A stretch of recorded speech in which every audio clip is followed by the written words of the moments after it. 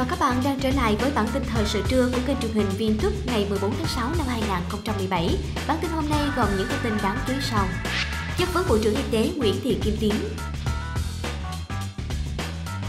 Tiếp tục ngưng đánh bắt từ đáy từ 20 km trở vào bờ biển miền Trung.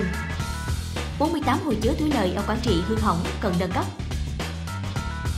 Khởi tố vụ án bắt giữ 38 cán bộ ở xã Đồng Tâm, Mỹ chỉ trích Triều Tiên vì đứng sau một loạt vụ tấn công mạng. Triều Tiên thả sinh viên Mỹ bị kết án lao động khổ sai. Lở đất giữa đêm khuya, hơn 100 người thiệt mạng ở Bangladesh. Sáng ngày 14 tháng 6, Bộ trưởng Bộ Y tế Nguyễn Thị Kim Tiến đăng đàn trả lời chất vấn của đại biểu Quốc hội. Trước đó, Bộ Y tế đã có báo cáo trả lời những vấn đề đại biểu Quốc hội quan tâm. Theo đó, ngành y tế còn 8 hạn chế, tồn tại.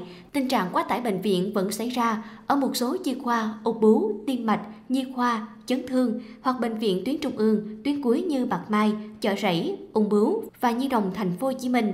Bên cạnh đó, chất lượng khám chữa bệnh ở tuyến dưới vẫn còn hạn chế, chưa được người dân tin tưởng, từ đó dẫn đến tình trạng bệnh nhân vượt tuyến, đổ dồn về bệnh viện tuyến trên gây quá tải.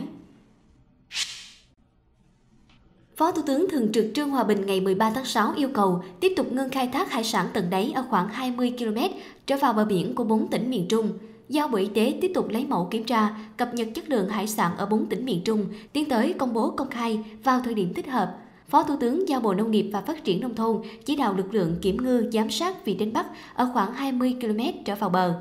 Trong lúc đó, Bộ Tài nguyên Môi trường phải tiếp tục giám sát chặt chẽ việc khắc phục các lỗi vi phạm của Formosa, đảm bảo đúng tiến độ, đúng cam kết và quy định của pháp luật Việt Nam. Bộ này cũng phải phối hợp với Ủy ban Nhân dân tỉnh Hà Tĩnh, theo dõi, giám sát chặt chẽ hoạt động của Formosa, kịp thời xử lý ngay khi có vấn đề phát sinh, tiếp tục thực hiện quan trắc về khí thải, nước thải, chất thải của Formosa.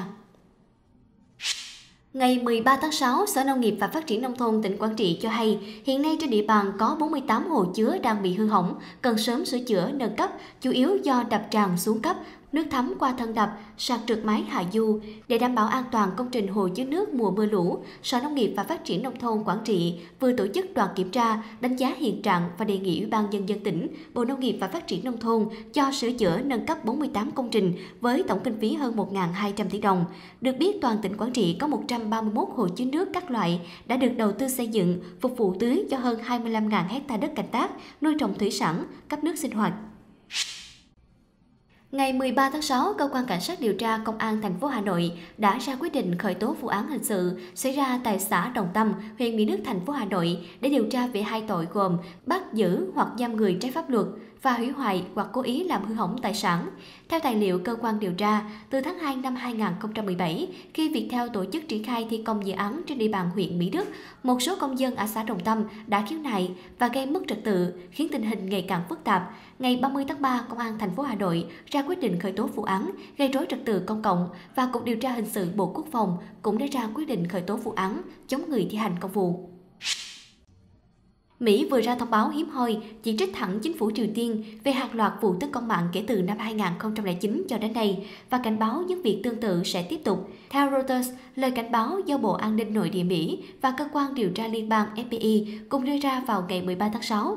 Theo tuyên bố này, những kẻ tấn công mạng của chính phủ Triều Tiên là nhóm hổ mang ẩn mình đã nhắm vào các cơ quan truyền thông, hàng không vũ trụ, tài chính cùng nhiều cơ sở hạ tầng thiết yếu của Mỹ lẫn trên toàn cầu. Việc chính phủ Mỹ đưa ra phân tích chi tiết đối với nghi vấn về các hoạt động tấn công mạng của Triều Tiên trùng hợp với căng thẳng gia tăng trong thời gian gần đây liên quan đến các vụ thử tên lửa của Bình Nhưỡng.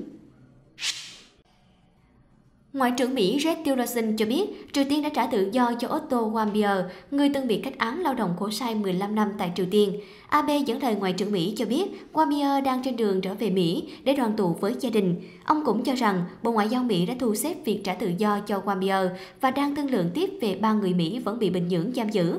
Trong khi đó, bố mẹ của Warmbier nói với Washington Post rằng con trai ông bà rời khỏi Triều Tiên trong tình trạng hôn mê. Warmbier đã về đến nhà vào tối ngày 13 tháng 6 theo giờ địa phương. Sau những trận mưa như trút nước, nhiều khu vực ở đông nam Bangladesh bị lở đất làm ít nhất 107 người thiệt mạng, trong đó có 5 binh sĩ đang giúp dân. Một người phát ngôn của huyện Rangamati cho biết, riêng tại huyện này nằm gần biên giới Ấn Độ, lở đất đã cướp đi mạng sống của ít nhất 60 người. Tại nhiều nơi, mạng điện sinh hoạt và điện thoại bị cắt đứt, một số cộng đồng không thể liên lạc được. Đài BBC đưa tin, công tác cứu hộ hiện đang bị cản trở do thời tiết xấu. Cũng tại khu vực này, nhiều binh sĩ bị thiệt mạng vì đất lở khi họ đang tham gia dọn dẹp một con đường bị tắc nghẽn sau một vụ lở đất trước đó. Thưa quý vị và các bạn, những nội dung vừa rồi đã kết thúc bản tin trưa của chúng tôi ngày hôm nay. Xin cảm ơn quý vị và các bạn đã quan tâm theo dõi.